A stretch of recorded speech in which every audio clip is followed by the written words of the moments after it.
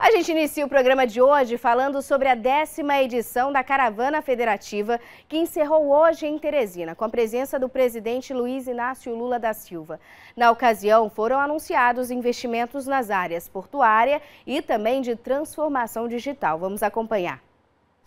O presidente Lula e a comitiva, formada por oito ministros de Estado, visitou os estandes da Caravana Federativa. A décima edição do evento, realizada em Teresina, contou com a participação de 205 dos 224 municípios do Estado. Em um momento de descontração, Lula tirou foto com a imprensa.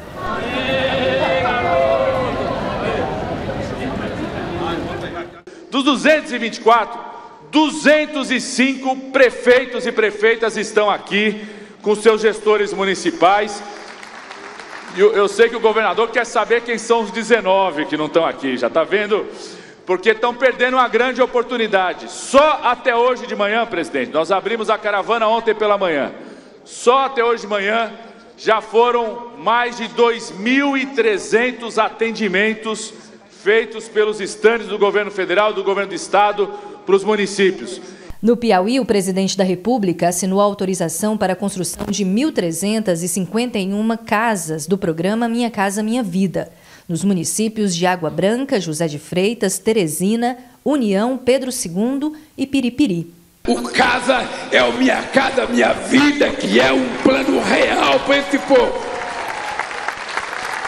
E nós agora estamos dando um passo a mais é que as pessoas que recebem o Bolsa Família e PPC não precisam pagar. A gente sabe como é que a gente vai cuidar dessas pessoas. E eu estou muito orgulhoso de estar aqui no Piauí. Então, o Piauí virou um case de sucesso em matéria de enfrentamento à pobreza, à fome, à miséria. Isso já está consolidado não só para nós, piauienses, mas acredito que de todo o Brasil já há um reconhecimento.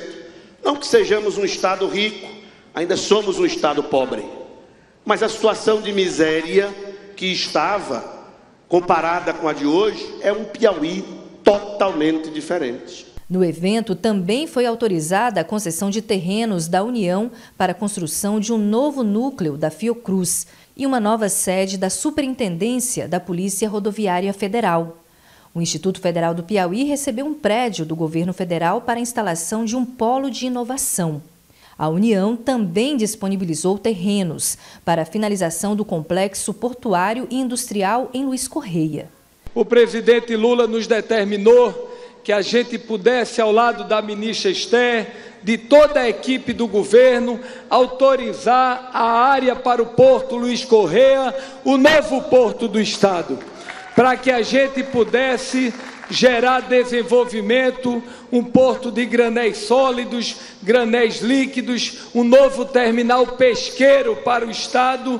E eu não tenho dúvida, governador, que depois desse porto pronto, o Estado, só por conta desse porto, vai crescer em média de mais de 2% do PIB, que é fundamental para o desenvolvimento do Estado. Durante o evento, o governo federal autorizou a reserva de vagas para mulheres em situação de violência em contratações públicas federais. A gente está assinando hoje com o governo do estado do Piauí essa, esse acordo de cooperação técnica para que a gente possa, nas todas as nossas contratações que serão feitas aqui no estado, garantir essa reserva de vagas de 8% para mulheres vítimas de violência. E o presidente Lula garantiu apoio logístico do governo federal e recursos para a execução do projeto Intermodal, que transforma o Rio Parnaíba em uma hidrovia ligada ao Porto Piauí.